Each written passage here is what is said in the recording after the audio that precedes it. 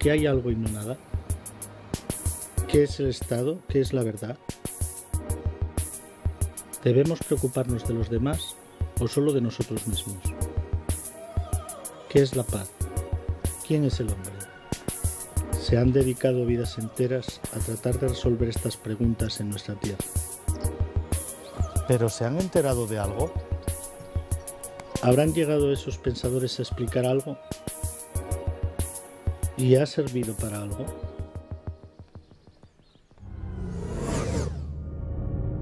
Ya sabemos cómo debe ser esa cabeza, pero ¿cómo se la ponemos a estos animales?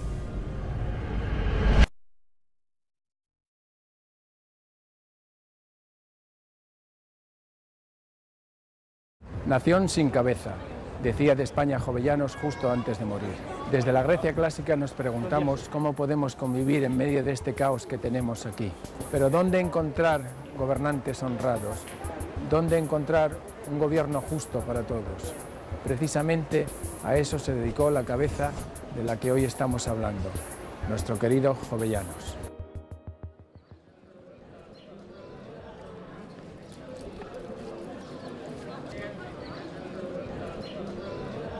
La familia Jovellanos había heredado el título de regidor y alférez de la villa de Gijón. Además de las ventajas obtenidas por este cargo, poseían una de las tres ferrerías que había entonces en Asturias y algunas tierras que arrendaban. En el seno de esta familia nace en 1744 Gaspar Melchor de Jovellanos. Parín, como le llamaban en su casa, era dócil y tenía las características necesarias para ser un buen sacerdote. Por medio de su tía abadesa, enviaron al pequeño Jovellanos a los 12 años a estudiar a Oviedo. Tras sus primeros años de carrera en el seno de la iglesia, Romualdo Velarde, amigo de la familia, le invita a estudiar al seminario privado que había fundado. Pero ya entonces comenzaba a criticar algunos aspectos de la educación recibida por la iglesia.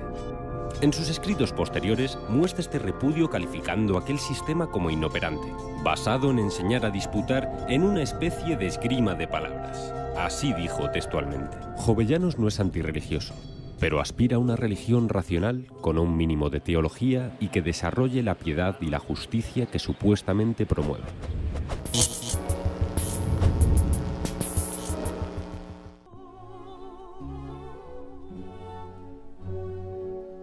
Rex Dei Gratia.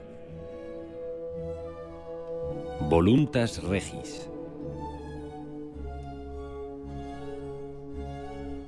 Vicarius Dei.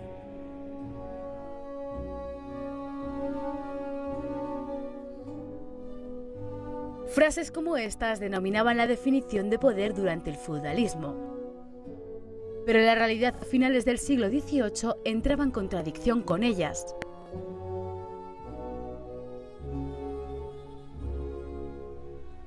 Las naciones han crecido mucho. No había naciones, había pequeños estados, pequeños feudos, y ahora han aparecido naciones poderosas. Esas naciones poderosas han tenido que ir organizando el modo de poder. Y llegado el siglo XVIII no hay más remedio que inventar la forma de poner a funcionar esos estados que ahora se enfrentan a otros estados y que tienen que seguir creciendo. La propiedad durante toda la Edad Media está fundada en la sangre y en la herencia. Se puede eh, conseguir o perder pues o, o, bien por guerra o bien por matrimonio. En adelante, la propiedad de las tierras se puede empezar a cambiar a vender y a comprar. De hecho, sí. se empieza el vallado de las tierras para que se pueda saber qué es lo que pertenece a quién y esa propiedad se pueda comprar y vender por dinero. El descubrimiento de América, el comercio entre las grandes potencias, en definitiva, una economía que se acelera, que coge ritmo que lo gana sobre las tierras la, agricultura va a ser el comercio y la industria cada vez más. Y después en el siglo XVIII pues lógicamente esto ya, ya, ya está muy maduro, muy maduro. Y, a mí me parece justamente... que, estamos, que estamos olvidándonos de lo más importante, yo creo, en este, en este momento, y que es que el tercer Estado toma conciencia de que es un tercer Estado y se niega a serlo. Uh -huh. Y quiere, se, quiere conseguir la igualdad, no, poder votar y ser votado. No, se da que, cuenta que si está no, siendo explotado sí, y que no, es, que no es legítimo. ¿Cómo salir de estas contradicciones? Y se da cuenta de que él puede acceder al poder. En este momento surge una corriente de pensamiento conocida como la Ilustración pretendía liberar a los hombres del miedo y de las supersticiones del antiguo régimen mediante la razón. A este movimiento filosófico perteneció Jovellanos.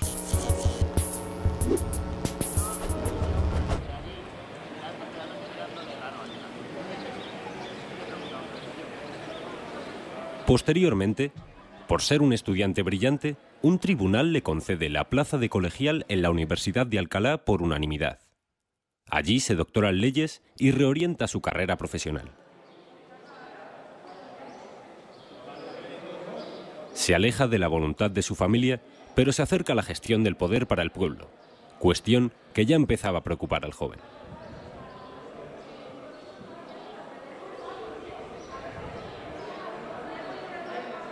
Terminó sus estudios y decidió utilizar sus luces para encauzarse hacia la profesión de juez. Así, el conde de Aranda le concedió la plaza de juez de la audiencia de Sevilla.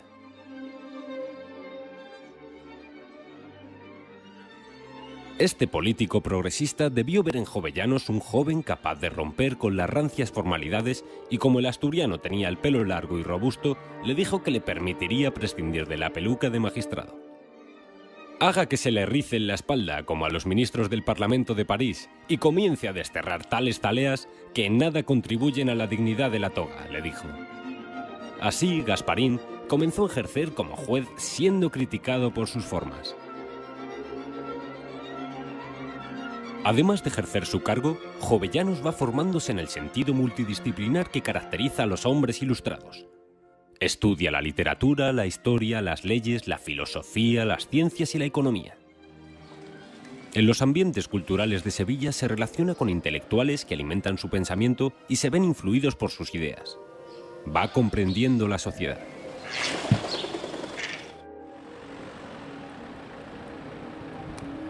Escribe El delincuente honrado, obra de teatro en la que critica la rigidez de la justicia que impone penas desproporcionadas y que le cuesta distinguir entre el malhechor y el honrado.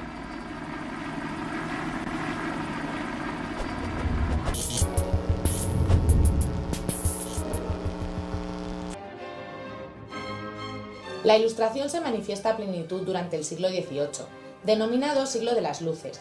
Su centro neurálgico es Francia, se desarrolla a partir de la muerte de Luis XIV en 1715, hasta la descomposición del antiguo régimen, que concluye en la independencia de Estados Unidos y la Revolución Francesa.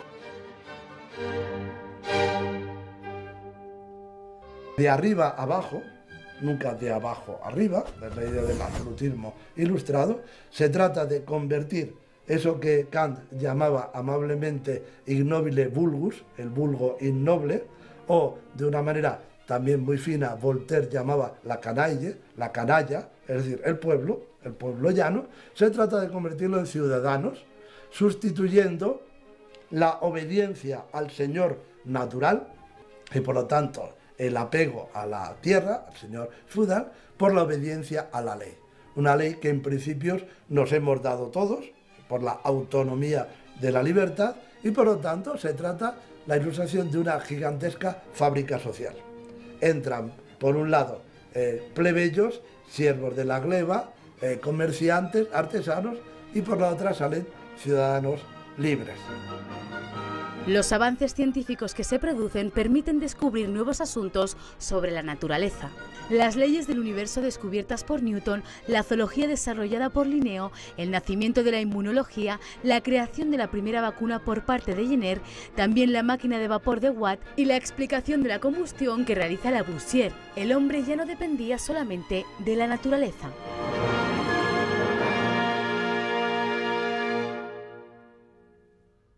Ahí la atrévete a saber. Sí, es una, una frase fundamental de Kant. Entonces, atrévete a pensar, atrévete a saber, atrévete, entérate de en qué mundo vives. Claro, claro, ser menor de edad es cómodo, sí. Sí, si todo te lo da Dios y todo te lo da una estructura piramidal y tú lo único que tienes que hacer es seguir lo que te mandan. Claro, cargarse de obligaciones y no solo de derechos, sino de deberes, es un problema. Y como Kant tiene muy presente que fundamentalmente somos deber, deber moral, y que estamos aquí para para seguir un guion, un guion que es el que marca la razón. Toda, ilustración se basa sobre, sobre el imperio de la razón.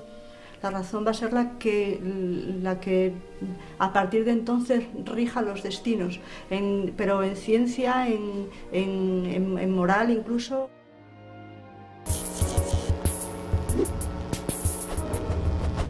Tras diez años en Sevilla, Jovellanos es ascendido a consejero de las órdenes militares en Madrid y admitido en las sociedades que debatían los temas más importantes para la gestión de la sociedad.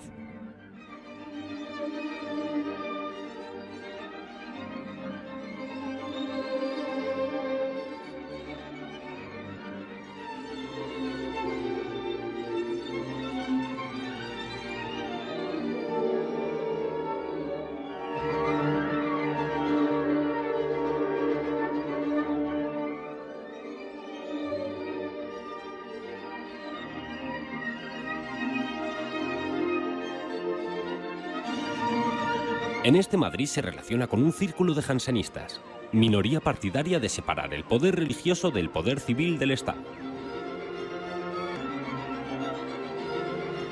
Entabla nuevas amistades como Cabarrús, el director del Banco de San Carlos, actual Banco de España, y con artistas como Goya.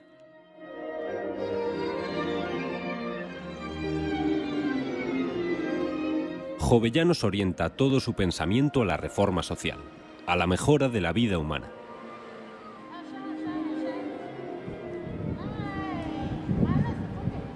La tierra se plantea como el gran problema de España. Siempre ha generado conflictos entre gobernantes, reyes, señores, curas y campesinos. A mediados del siglo XVIII, la mayoría de las tierras españolas estaban en manos muertas. Jovellanos redacta desde la sociedad matritense un proyecto sobre reforma de ley agraria que será puesto en práctica. Es la obra que le consagra definitivamente como hombre de Estado. Su propuesta camina hacia el liberalismo, es decir, elimina estorbos políticos para la libre circulación. Las leyes deben seguir la lógica de la economía y no al revés. También quiere eliminar los privilegios de las castas feudales y eclesiásticas Reconocía estorbos para desarrollar la tecnología y los métodos de cultivo. Estos derivados de la falta de educación del pueblo en las nuevas ciencias, pero también derivados de una mentalidad cerrada y conservadora que les impedía pensar en el progreso. Decía, el Estado debe intervenir en la formación de ciudadanos educados, sensibles y con espíritu de fraternidad universal. Finalmente afirmaba que el problema de la pobreza no se solucionaba con la caridad, sino creando trabajo para todos.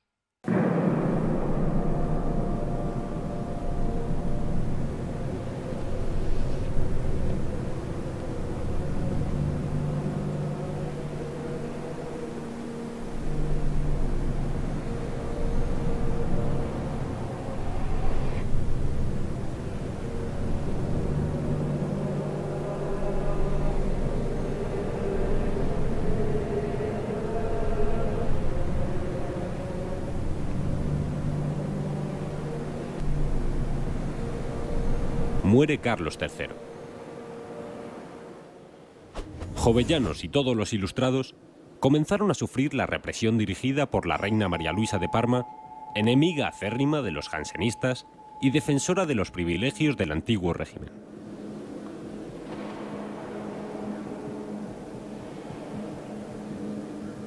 Un año más tarde, el asturiano propuso una reforma de la ley universitaria en Salamanca y la rechazaron por contener lecturas prohibidas y por ser un giro modernizador en el plan de estudios.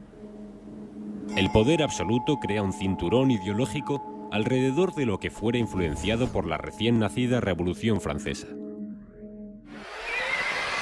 Jovellanos recibe la noticia de que su gran amigo y compañero ideológico Cabarrús ha sido acusado de malversación de fondos. Cuando el asturiano le defiende ante la corte, es relegado de su puesto y enviado a Asturias a gestionar asuntos mineros.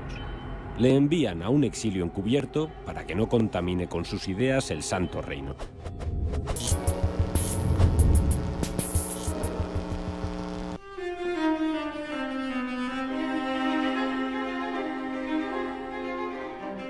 La ilustración es un movimiento burgués, reclama el poder político para los que ya tienen el económico. Hasta entonces la aristocracia tiene su puesto en la sociedad por nacimiento. Es necesaria una nueva legitimidad que justifique el ascenso de esta nueva clase social. Esa legitimidad se sustentará sobre la razón. Cuando el paradigma normal, el estado normal de las cosas no funciona, en la filosofía se hace crítica precisamente porque pone en cuestión los prejuicios establecidos, las normas que todo el mundo sigue. Eh, ¿En qué consiste la razón? consiste en poner luz en las cosas. La razón es, es, es, el entendimiento. No es solo nos iguala, sino que nos hace comportarnos eh, fraternalmente, nos hace portarnos como seres humanos. La razón es la que nos hace ser humanos. Es un elemento de, igualdad, porque la razón la tenemos todos. Es decir, uno pobre puede nacer muy listo. Lo que, lo que hace la razón es que es el fundamento de la sociedad.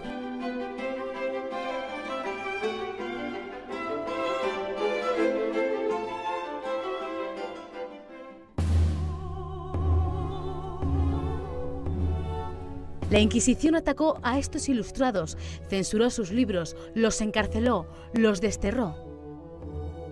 En el antiguo régimen la represión era muy sorda y muy rápida y muy efectiva porque bastaba una orden para ejecutarlo y como no había opinión pública y no había posibilidad de, protestar, pues aquello sucedía. Era la Inquisición que estaba funcionando y además era una institución legal que lo que tenía que hacer era podar todo aquello que se saliera de lo preestablecido y después el poder absoluto del rey. El monarca podía, mediante un, papel, eh, una orden suelta, eh, establecer lo que quisiera.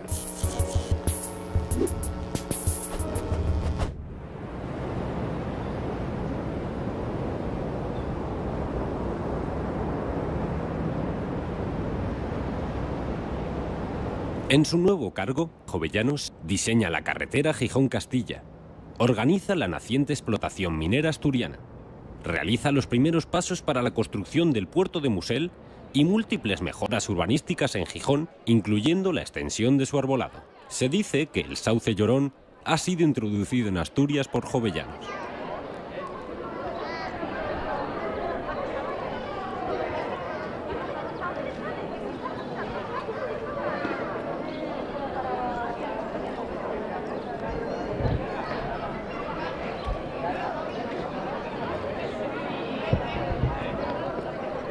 Pero su obra más relevante en esta etapa fue la creación del Instituto Asturiano de Náutica y Mineralogía. Parte de la necesidad de mejorar la explotación minera y la actividad naval, y fomenta la formación de hombres y mujeres en las distintas disciplinas de estas industrias. Propone un nuevo método de educación integral con una pedagogía más pragmática que entra en contradicción con los viejos educadores de la Iglesia, que no paran de poner trabas a la iniciativa de Jovellanos. Incluso la Inquisición llega a enviar un cura para investigar en su biblioteca. Jovellanos, con su reconocida autoridad, le prohíbe que vuelva a entrar en el instituto sin su permiso. En medio de esta intensa actividad pedagógica y en un intento de renovación por parte de algunos sectores de la corte, Jovellanos es nombrado ministro de Gracia y Justicia.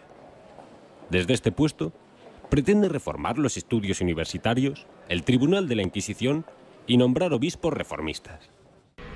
Pero las facciones absolutistas dentro de la corte le impidieron llevar a cabo cualquier política que pusiera en peligro el antiguo orden establecido.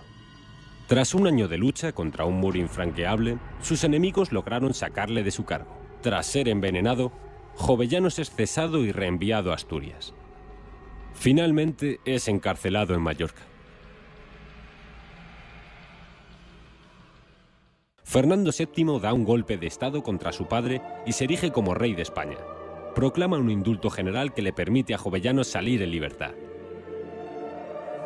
Sus tres últimos años de vida transcurrirán al ritmo vertiginoso que impone la Guerra de la Independencia. Napoleón invade España y le propone al asturiano participar en su gobierno. También sus viejos amigos tratan de convencerle. Avanzaremos hacia las reformas por las que llevamos tantos años luchando, el progreso de la nación por fin gestionada con la fuerza de la razón, le dicen. Pero Jovellano rechaza estas propuestas y participa en el gobierno de la Junta Central, que era el poder en paralelo en medio de la invasión. Escribe así Defensa de la Junta Central, su obra más elaborada que recoge la síntesis de todo el desarrollo de su pensamiento político.